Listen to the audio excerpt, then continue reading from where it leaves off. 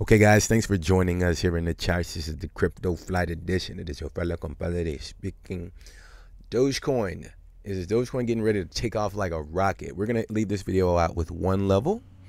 Uh, we're actually going to take a sneak peek on our last post. Yes, I realized that we had a interesting tone on the last video. I'm going to explain that as well. And we'll get into it and make it short and sweet. So, yes, we're going to explain the one level in this line in the sand if Dogecoin is actually getting ready to take off like a rocket. Let's get into it, guys. Welcome back, loyal family. If you're new here, we only explore price action. Welcome in all of our new subscribers. Let's go ahead and dive right into the charts here. Show me. So today is January the 15th, 2022, and the current price of Dogecoin is 18 cents, slightly positive 3.5% for the day. All right, ladies and gentlemen, let's get right into it here. Hope you guys are doing well. Okay, so those are the lines. On our last post, if you didn't watch it, I'll leave a link for you. Um, January the 5th, 2022, we got 487 views. Thank you all. 55 likes. And thank you for the support, guys. And all of the comments down in the comment section. You guys are always supporting the channel. I appreciate you for that, okay? Now, one of the things that I'm noticing is the 16 cent level has been accomplished as we explained on the video, guys. You see the 16 cent, that blue line right there? I think at the beginning of the video was actually below that level. Um, and you see that white line there? See on, the, on this chart there, that white line? Uh, that is the two levels that we left you guys out with on the last video. So some may be asking, the uh, uh, Napolean, I heard on your last video you said it could go down to 17 cents. I sold all of my Dogecoin. No, kind sir, please understand that this is not financial advice, guys. Please do not use this as financial advice. Uh, one may ask, do I still think that Dogecoin could go to 7 cents? Uh, we'll get into all that here. So since Dogecoin has accomplished the 16 cent level, that was the first thing. Check mark for one. Okay. The second thing is let's pull up the 50 exponential moving average right there. Okay, perfect. So you notice how as soon as there was a close above that 16 cent level, we're looking at the daily candles, by the way. I don't know if you guys can see this. See when it, as soon as it closed above that 16 cent level, like it immediately just kind of exploded and blasted through the uh, 50 exponential moving average. The white line here is a 50 exponential moving average. So I don't want this to be a long video, guys. Let's put the line in the sand. So let me explain the reason why I say that this is the line in the sand. So what we look for on this channel as well is buyer commitment candles. And according to the daily candles here, let's actually erase everything, get rid of everything for now. I want you guys to see this buyer's commitment candle. I think some of you know how to find them now. This candle right here on January the 14th is considered a buyer's commitment candle. Now, when you see this type of candle enter the market, uh, followed by volume, right? You see all that volume down at the bottom portion of the screen. See that bottom, see that volume bar right there? So when you see this type of gesture into the market, what you do next is, well, just kind of, you know, psychologically picture in your mind, okay, say, okay, someone has committed to buying up a lot of cryptos. And the way that you know that is because you'll see the large shadow at the top of the candle. You see this large shadow? So this means someone actually, you know, when someone, some institution, I'm not sure who the guys, but they committed to hitting that buy button and they bought up all the cryptos uh, from the open and the close of this candle. So the low of this candle is going to be uh, 17 cents and it reaches as high as 21 cents. So someone committed to buying all the cryptos within that range. Stick with me, guys. It makes a lot of sense. Okay. Now, since we found the buyer's commitment candle, the next thing that I do is I put a horizontal line at the close of the buyer's commitment candle right there. Now, the reason that I do that is because if you think of it from you know practical standpoint if someone's committing to buying up all of these cryptos at that specific level they should be able to hold the line at the close of that buyer's commitment candle which is if you see it on the screen there is 0.1819 so if i'm under the assumption that these buyers have good intentions and they want to continue to propel this crypto market higher they must hold this line, okay? Because that's where they started to, well, that's where the market closed, and that was, I don't want this to sound confusing, guys. That's where the market closed. So the close of that candle should act as support.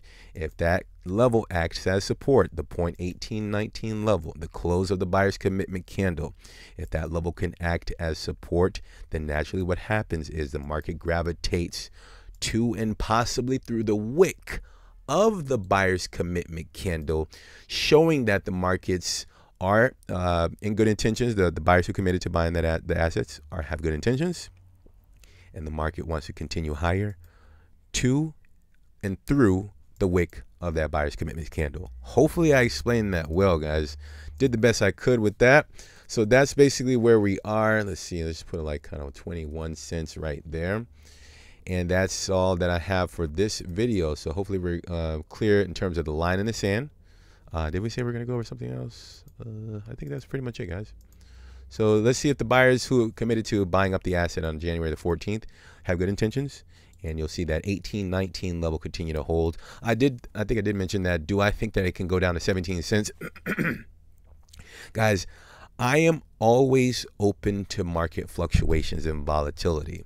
The moment that you uh, say that you don't think that any asset, cryptos, it doesn't matter, any asset, when you say that, oh, it'll never go down or it'll never go high, that's you're you're limiting yourself to an opportunity to learn more. Because the moment that you say something won't happen, you won't be open to it actually doing it, right? So, for example, do I think uh, Dogecoin could go down to 17 cents?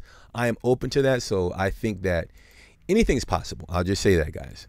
I do think, and I think that the practical level below 16 cents uh, is all the way down to 17 cents. That's not going to change. Although we just went over the line in the sand from the buyer's commitment candle, which is 1819, that will stay the same in terms of understanding whether or not Dogecoin is getting ready to take off like a rocket, as the title suggests. That's the one line in the sand that we will leave the video out with. But please understand that if there is a point in time that Dogecoin is starting to show some signs of weakness and it is starting to uh, close daily candles below the 1819 level, if it closes below 16 cents, my thesis stays the same. I am not backpedaling. I am staying very consistent with the levels as the price and volume enters the market. So therefore, I do think that markets fluctuate and they can get as low uh, at seven cents in the Dogecoin market. And I do think that Dogecoin could get as high as the uh, the all time highs. Okay, I think it could go up and down. No, I'm not a genius for saying that, guys. I am taking this market one day at a time, understanding the daily candles as they close, as they walk up the stairs, right? And if they are starting to walk down the stairs, I'm taking the levels into consideration to understand the ebbs and the flows. Okay, so when I say it can go up or down, I'm not saying that because I want to sound like a genius. I'm taking it one day at a time and understanding the close of each individual daily candles is what I'm focusing on for now on Dogecoin. And that's in the video. To summarize everything, guys, 1819. Let's see if we can continue to get consecutive daily candles to close above that level. And then I think Dogecoin is in preparation or getting ready to take off like a rocket. Uh, higher targets, um, I don't necessarily have any higher targets unless um, let's say Dogecoin holds 1819, I see a conservative price target of like 24 cents. So from the current level up to like 24 cents, that's about a 30% move to the upside. Please do not take that as financial advice. And I realize Dogecoin could potentially get as high, you know, extremely higher, but that's my conservative shot at a price target. And that's all I have for you, wonderful folks. Hopefully you enjoy that. Hopefully this wasn't too long.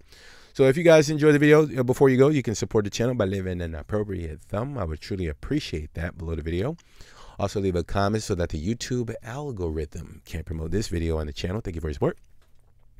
Now, if you guys are new, before you go, we also explore traditional stocks throughout the week. You can kindly join us here on this interesting journey, intense journey at times, and we'll send that out to you momentarily. Hit the bell, of course, after you subscribe. Welcome in.